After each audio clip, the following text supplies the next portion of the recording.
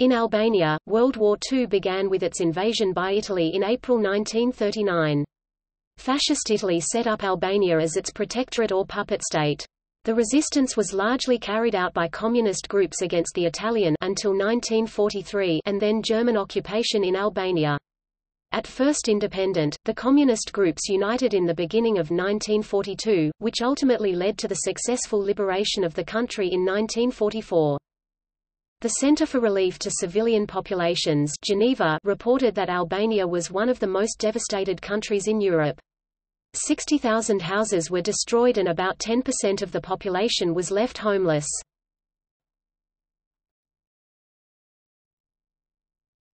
Topic. Background As Germany annexed Austria and moved against Czechoslovakia, Italy saw itself becoming a second-rate member of the Axis. After Hitler invaded Czechoslovakia without notifying Mussolini in advance, the Italian dictator decided in early 1939 to proceed with his own annexation of Albania. Italy's King Victor Emmanuel III criticized the plan to take Albania as an unnecessary risk. Rome, however, delivered Tirana an ultimatum on March 25, 1939, demanding that it accede to Italy's occupation of Albania. King Zog refused to accept money in exchange for countenancing a full Italian takeover and colonization of Albania, and on April 7, 1939, Mussolini's troops, led by General Alfredo Guzzoni, invaded Albania, attacking all Albanian ports simultaneously. There were 65 units in Saranda, 40 at Vlora, 38 in Durrës, 28 at Shëngjin and 8 more at Bishti i Palës. The original Italian plans for the invasion called for up to 50,000 men supported by 137 naval units and 400 airplanes. Ultimately the invasion force grew to 100,000 men supported by 600 airplanes. In Durrës, a force of only 360 Albanians, mostly gendarmes and townspeople, led by Abbas Kupi, the commander of the gendarmerie in Durrës, and Mujo Ulqinaku, a marine official, tried to halt the Italian advance. Equipped only with small arms and three machine guns, they succeeded in keeping the Italians at bay for several hours until a large number of small tanks were unloaded from the Italian ships. After that, resistance began to crumble, and within five hours Italian troops had captured the city. By 1.30 p.m. on the first day, all Albanian ports were in Italian hands. Unwilling to become an Italian puppet, King Zog, his wife, Queen Geraldine Apponyi, and their infant son Skanda fled to Greece and eventually to London. On April 12, the Albanian parliament voted to unite the country with Italy. On April 12, the Albanian parliament voted to depose Zog and unite the nation with Italy, in personal union, by offering the Albanian crown to Victor Emmanuel III and the Italians set up a fascist government under Shqevalesi and soon absorbed Albania's military and diplomatic service into Italy's. On April 15, 1939, Albania withdrew from the League of Nations, from which Italy had resigned in 1937.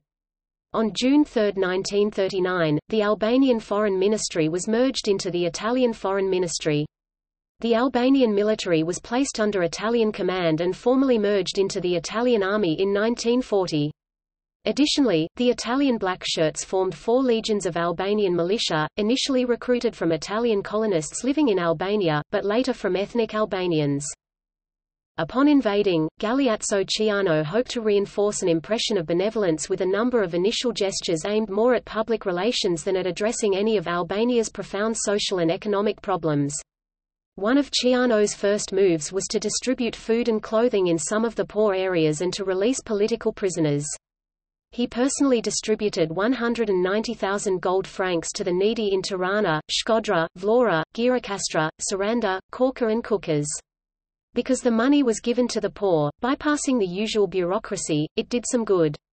The Italians also contributed greatly to infrastructure, agriculture, and chrome and hydrocarbon exploration in which Albania was rich. The Italians hoped that extensive investment in Albania would bring both economic and political benefits. Despite a weak domestic economy, Mussolini guaranteed the Albanians the sum of £22 million over five years for economic development, considerably more than the £8.2 million Rome had spent since the early 1920s. Initial reports of the Italian activity were quite favourable. Ruth Mitchell commented at the end of April 1939, "...what a great improvement there is in the condition of the people already." The whole atmosphere had become brisker and more enterprising, now at least there is hope. Even the German minister Eberhard von Pannwitz, who was perpetually critical of the Italians, commented favorably on the Italian tempo, which he likened to the tempo in Austria after the Anschluss. The new construction projects brought in large amounts of capital and employed many Albanians. The government began letting Italians take technical positions in Albania's civil service, and also began allowing Italian settlers to enter Albania. This largely affected the Albanians' attitude towards the Italian invaders and the locals greeted them with more respect and liking.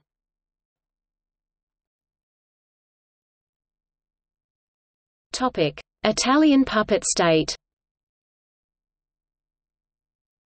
In spite of Albania's long-standing protection and alliance with Italy, on 7 April 1939 Italian troops invaded Albania, five months before the start of the Second World War.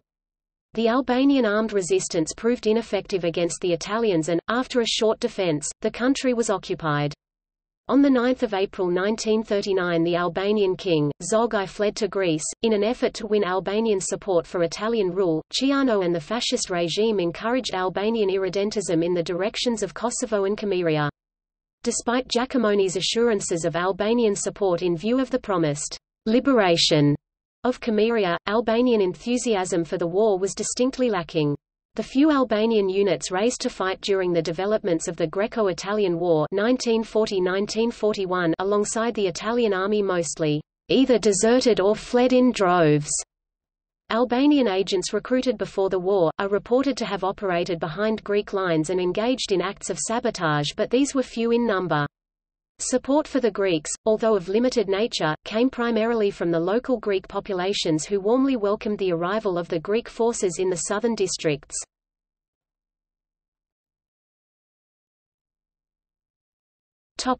Communist and nationalist resistance.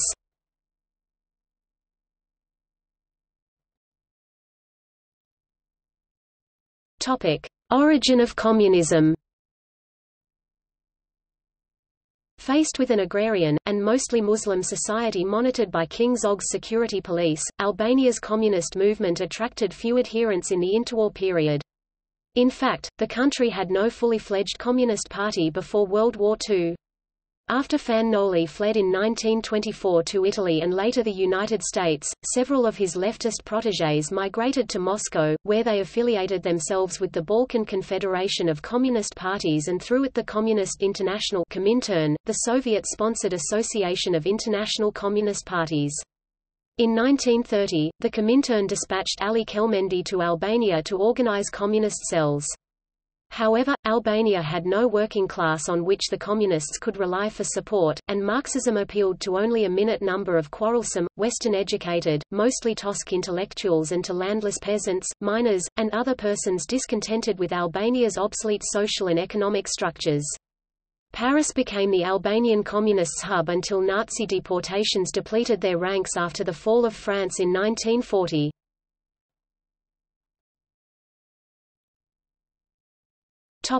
Enver Hoxha's and Mehmet Shehu's early years.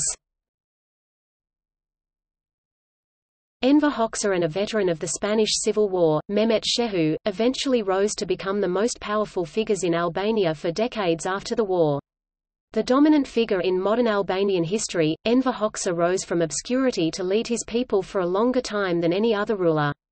Born in 1908 to a Tosk landowner from Gjirokastër who returned to Albania after working in the United States, Hoxha attended the country's best college preparatory school, the National Lyceum Korçë. In 1930 he attended the university at Montpellier in France, but lost an Albanian state scholarship for neglecting his studies. He subsequently moved to Paris and Brussels. After returning to Albania in 1936 without having earned a degree, he taught French for years at his former lycée and participated in a communist cell-in Korçë. He later went to Tirana and when the Albanian Communist Party was formed in November 1941, he was appointed as the General Secretary of the party, a post which he kept until his death in 1985. Shehu, also a Tosk, studied at Tirana's American Vocational School. He went on to a military college in Naples but was expelled for left-wing political activity. In Spain Shehu fought in the Garibaldi International Brigade and became a commander of one of the brigade's battalions. After the Spanish conflict was over, he was captured and interned in France. He returned to Albania in 1942 and soon became a prominent figure. During the conflict, he won a reputation for his commanding abilities with the partisans. David Smiley, in his memoirs published in 1984, wrote, Mehmet Shehu was a short, wiry, dark swallow-faced man of about 30 who seldom smiled except at other people's misfortunes. He spoke good English, was very capable and had far more military knowledge than most other Albanians. He had a reputation for bravery, courage, ruthlessness, and cruelty he had boasted that he personally cut the throats of 70 Italian carabinieri who had been taken prisoner. I got along with him at first, for as soldiers we had something in common, but he did little to conceal his dislike for all things British, and my relations with him deteriorated.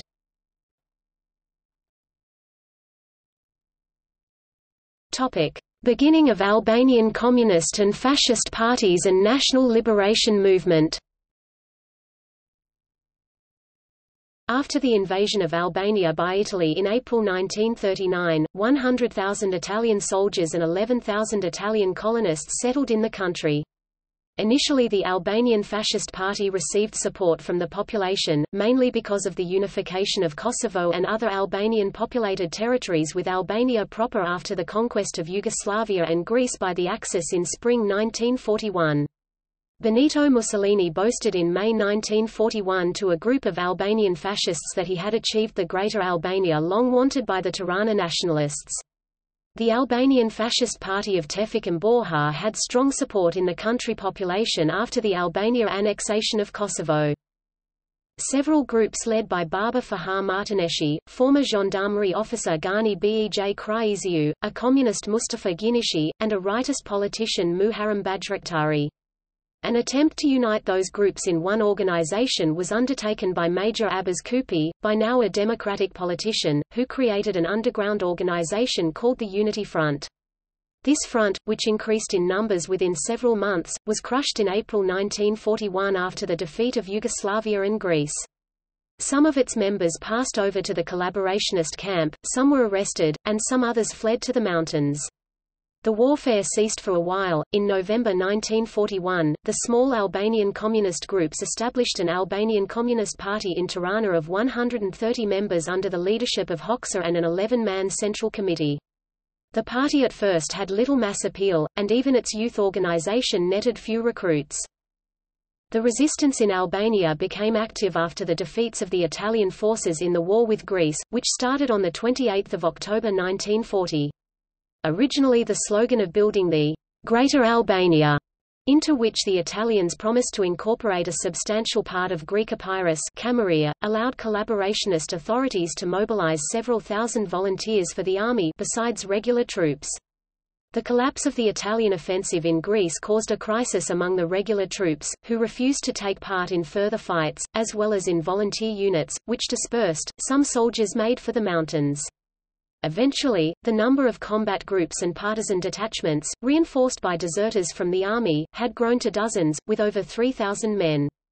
In November in Lezhë, a town near the port of Shëngjin on Adriatic coast, mutinous soldiers who refused further service in Italian units fought a battle with an Italian punitive expedition, killing 19 and badly wounding 30 Italians, before retreating to the mountains. In the same month a partisan detachment laid an ambush for an Italian transport column en route to Gjirokastra.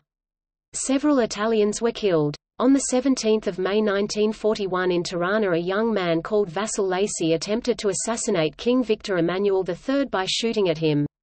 However he failed and was shortly after executed. In mid-1942, however, the party called on young people to fight for the liberation of their country from Italy. The propaganda increased the number of new recruits by many young people eager for freedom. In September 1942, the party organized a Popular Front organization, the National Liberation Movement NLM, from a number of resistance groups, including several that were strongly anti-communist. During the war, the NLM's communist-dominated partisans, in the form of the National Liberation Army, ignored warnings from the Italian occupiers that there would be reprisals for guerrilla attacks. Partisan leaders, on the contrary, counted on using the desire for revenge such reprisals would elicit to win recruits. On 17–22 February 1943 in the village of Labinot, the first nationwide conference of ACP took place. The estimation of the political and military situation in the country pointed to the need to create a homogeneous national liberation army. A decision concerning warfare tactics also was taken, it recommended that commanders of units conduct actions with bigger forces. On 17 May, 12 partisan detachments under the homogeneous command carried out an attack on the Italian garrison in Leskovik, which protected an important road junction. Partisans encircled the town in a tight ring and undertook the offensive. Over 1,000 Italians held the town. The battle lasted three days. The commander of the garrison had demanded air support, but before the support arrived, partisans seized the town. The Italians lost several hundred soldiers and considerable quantities Zero-F weapons and equipment. At the end of June the Italians started a punitive expedition against partisans in the region of Mallakastra and Tepelena. 2,000 partisans took up defensive positions on mountain passes. In the first clash the Italians were forced back, but they renewed the action on 14 July with tanks, artillery and aircraft. After four days of fighting, the partisans had suffered heavy losses and retreated to higher parts of the mountains. In general from May to July the Italians lost thousands and many were wounded. After March 1943, the NLM formed its 1st and 2nd regular battalions, which subsequently became brigades, to operate along with existing smaller and irregular units. Resistance to the occupation grew rapidly as signs of Italian weakness became apparent. At the end of 1942, guerrilla forces numbered no more than 8,000 to 10,000. By the summer of 1943, when the Italian effort collapsed, almost all of the mountainous interior was controlled by resistance units. The NLM formally established the National Liberation Army (NLA) in July 1943 with Spyro Moisiu as its military chief and Enver Hoxha as its political officer. It had 20,000 regular soldiers and guerrillas in the field by that time. However, the NLA's military activities in 1943 were directed as much against the party's domestic political opponents, including pre-war liberal, nationalist, and monarchist parties, as against the occupation forces.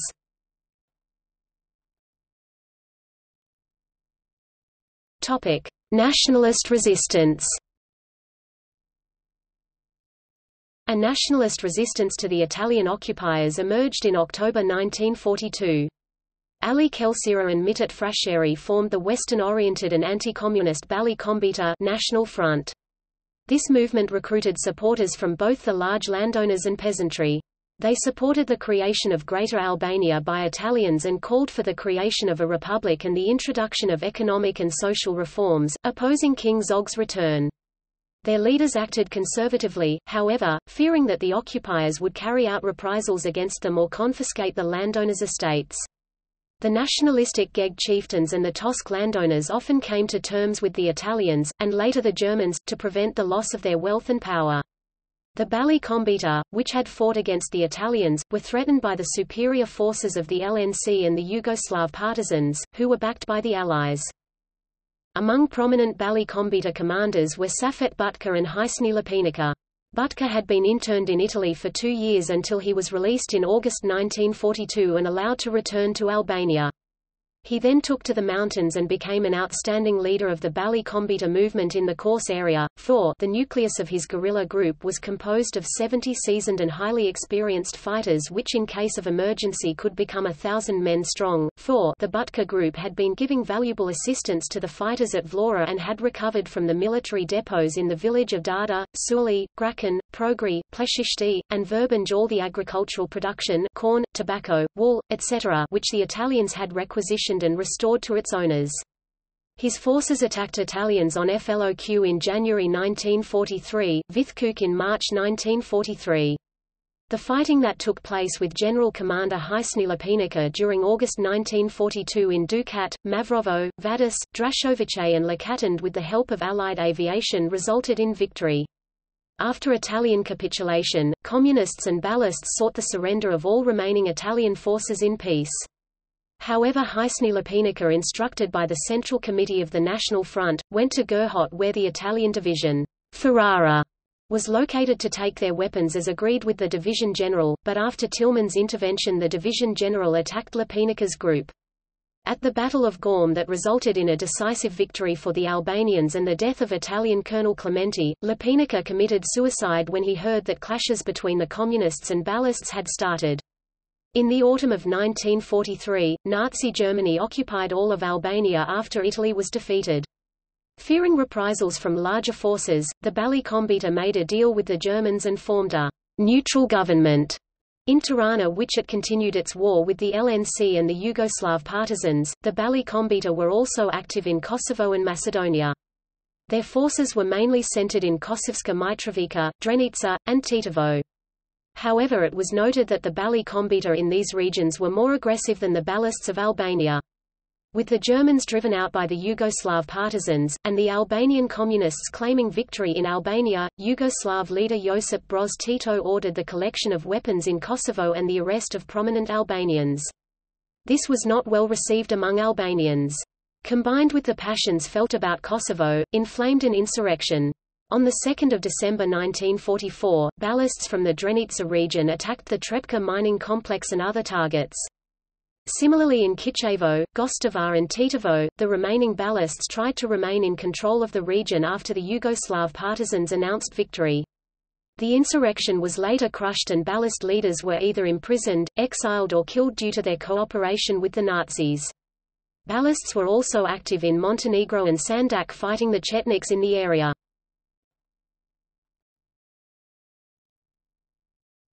Topic: between Italian surrender and German occupation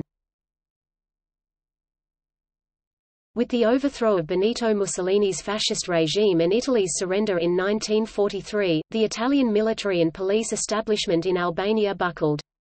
Albanian fighters overwhelmed five Italian divisions, and Italian recruits flocked to the guerrilla forces. The Communists took control of most of Albania's southern cities, except Vlora, which was a Balli Kombëtar stronghold, and nationalists attached to the NLM gained control over much of the north. British agents working in Albania during the war fed the Albanian resistance fighters with false information that the Allies were planning a major invasion of the Balkans and urged the disparate Albanian groups to unite their efforts. In August 1943, the Allies convinced Communist and Balli Kombëtar leaders to sign the Mukje Agreement that would coordinate their guerrilla operations. The two groups eventually ended all collaboration, however, over a disagreement on the post-war status of Kosovo. The Communists supported returning the region to Yugoslavia after the war with the hope that Tito would cede Kosovo back to Albania peacefully, while the nationalist Balli Kombëtar advocated keeping the province.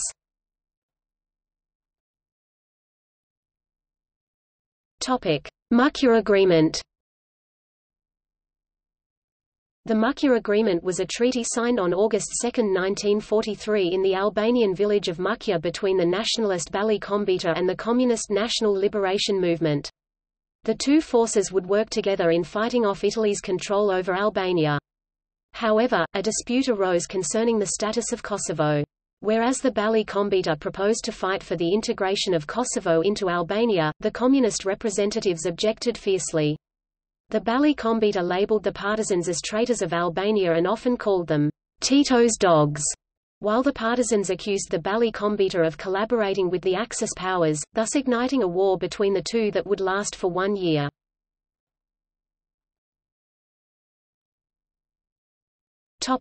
German occupation In anticipation of such invasion, the Wehrmacht drew up a series of military plans for action against Italian holdings in the Balkans code-named Constantine.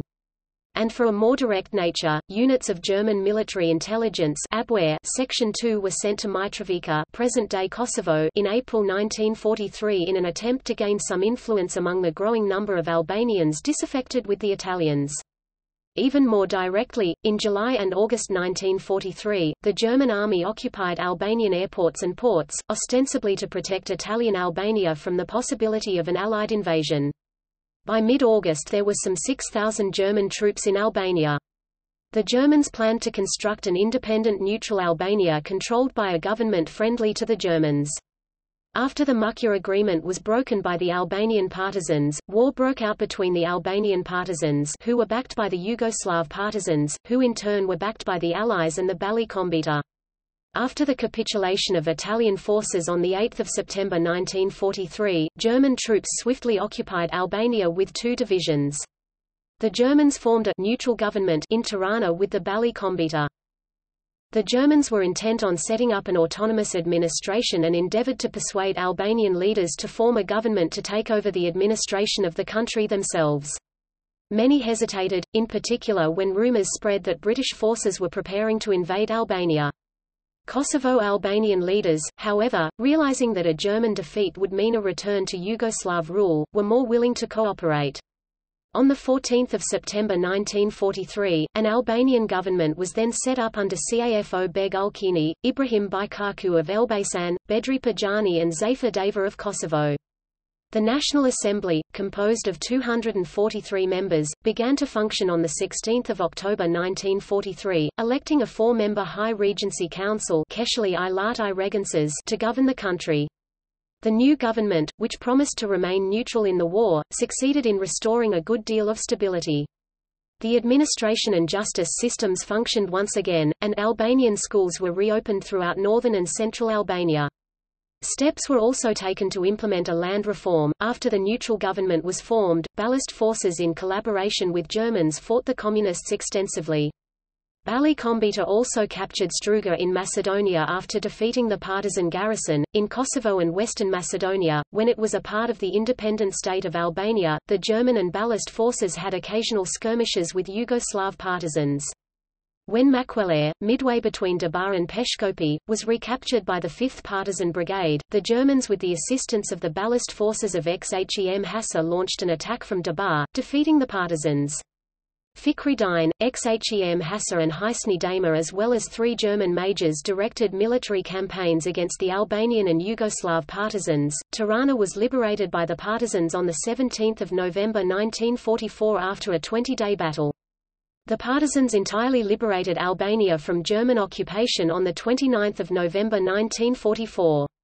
The National Liberation Army, which in October 1944 consisted of 70,000 regulars, also took part in the war alongside the anti-fascist coalition. The Albanian partisans also liberated Kosovo, and assisted Tito's communist forces in liberating part of Montenegro and southern Bosnia and Herzegovina. By that time, the Soviet army was also entering neighboring Yugoslavia, and the German army was retreating from Greece into Yugoslavia.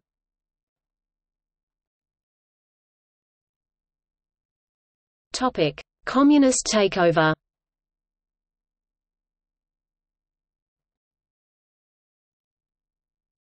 Topic: Provisional Communist Administration. The Communist partisans had regrouped and gained control of much of southern Albania in January 1944. However, they were subject to German attacks driving them out of certain areas until June. In May 29 they called the members of the National Liberation Front as the movement was by then called in the Congress of Përmet, which chose an anti-fascist Council of National Liberation to act as Albania's administration and legislature. Hoxha became the chairman of the Council's Executive Committee and the National Liberation Army's supreme commander. The Communist partisans defeated the last Balli Kombëtar forces in southern Albania by mid-summer 1944 and encountered only scattered resistance from the Balli Kombëtar when they entered central and northern Albania by the end of July. The British military mission urged the remnants of the nationalists not to oppose the Communists' advance, and the Allies recalled their representatives with them to Italy. They did not evacuate nationalist leaders, although many fled. Before the end of November, the main German troops had withdrawn from Tirana, and the Communists took control by attacking it. A provisional government, which the Communists had formed at Berat in October, administered Albania with Enver Hoxha as prime minister.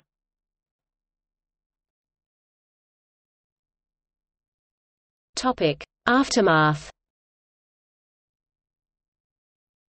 Albania stood in an unenviable position after World War II.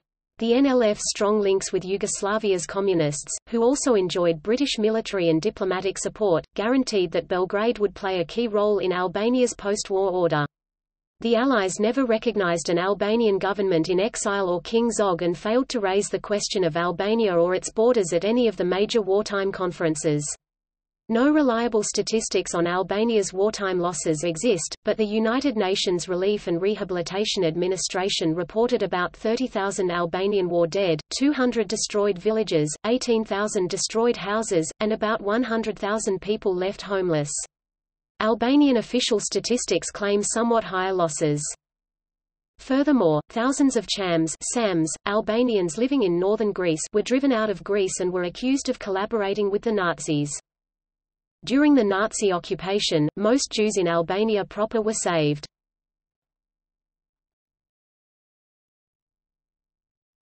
Topic: Foreign participation. There were a significant number of foreign citizens who participated in Albanian resistance during World War II.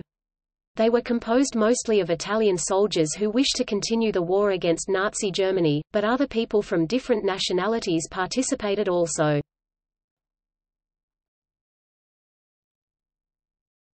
Topic: Italian participation. Albanian resistance began in 1940 with small setters but it became a significant force in 1942. Even during this period there were small groups of Italian soldiers who deserted the fascist army and joined the Albanian partisans.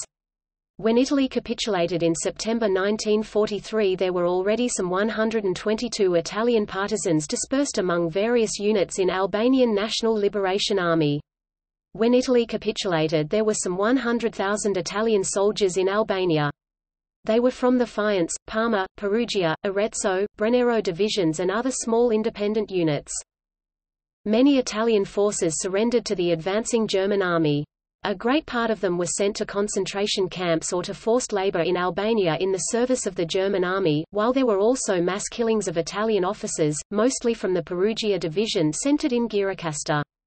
Its general, Ernesto Chiminello, together with 150 officers, were executed in Saranda.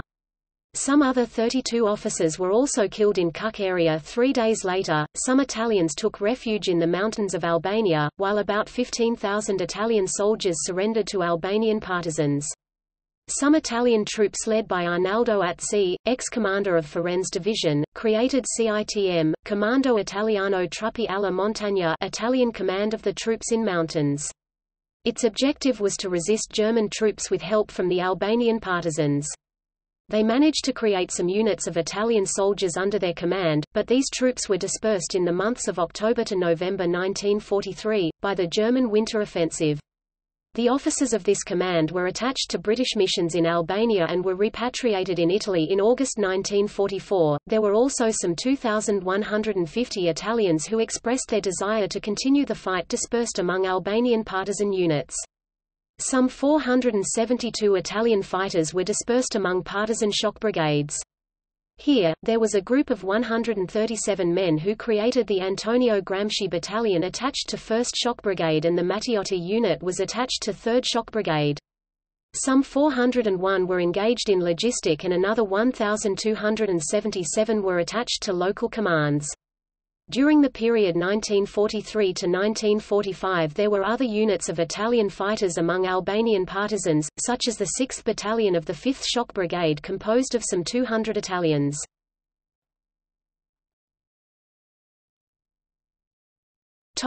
Wehrmacht deserters Part of the German force which occupied Albania was composed of Wehrmacht recruits from the Caucasus region. The first Wehrmacht deserters went to Albanian partisan units at the end of 1943 during the German Winter Offensive, but their numbers grew in the summer of 1944 during the German Summer Offensive. There was a great flow of Wehrmacht deserters during the end of conflict to Albania from September to October 1944 as German forces began withdrawing from Albania. In August 1944 a new unit was formed in 3rd Shock Brigade from some 40 Wehrmacht deserters mostly Armenians and Turkmen. Some other 70 Armenians created their own unit attached to 1st Shock Brigade in September 1944.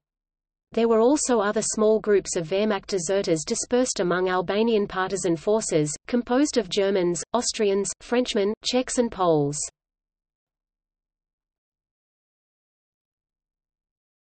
Topic: Allied links and assistance.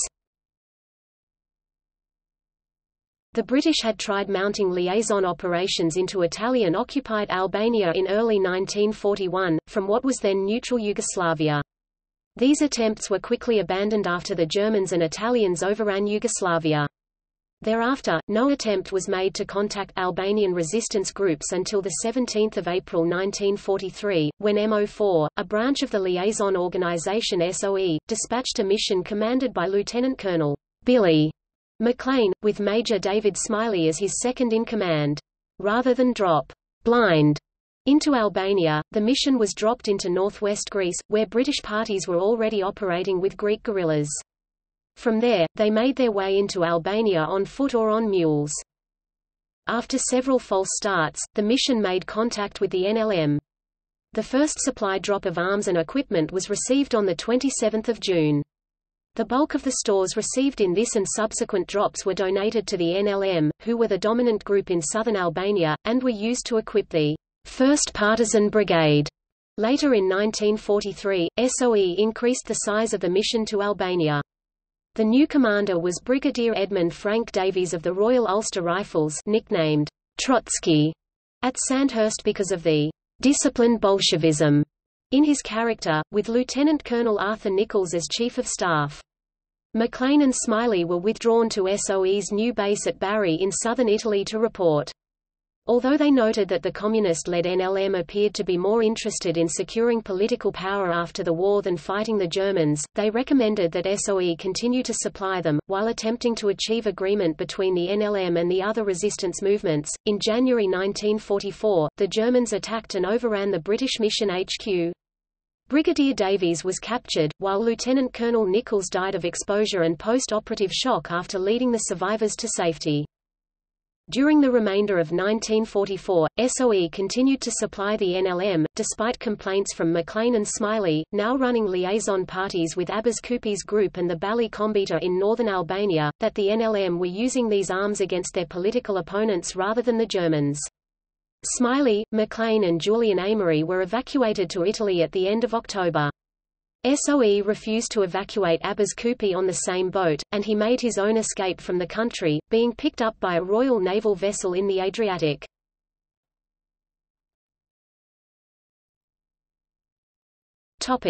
See also